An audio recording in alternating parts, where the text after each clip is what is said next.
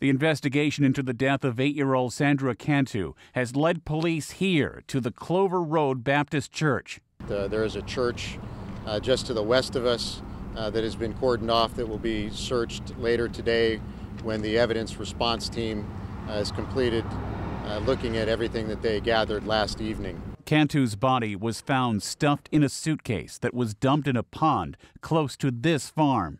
She was last seen on March 27th, and Monday's discovery has shaken the community and the police. I didn't sleep last night. I I couldn't I don't know, I was kind of in shock because it was just too much. This is just too much. It's too close to home. When I first heard the news, my reaction was to just pour out with tears. I, I, I started to tear up and I, I, couldn't take it. Most of the investigators involved with this are parents. It's very difficult to imagine that as a parent.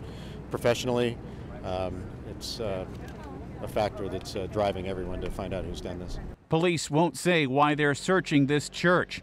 The church's pastor lives in the same mobile home park as Cantu and was questioned both before and after Cantu's body was found. For now, the community is trying to rally together and remember a girl they say was God's little angel. Ed Donahue, The Associated Press.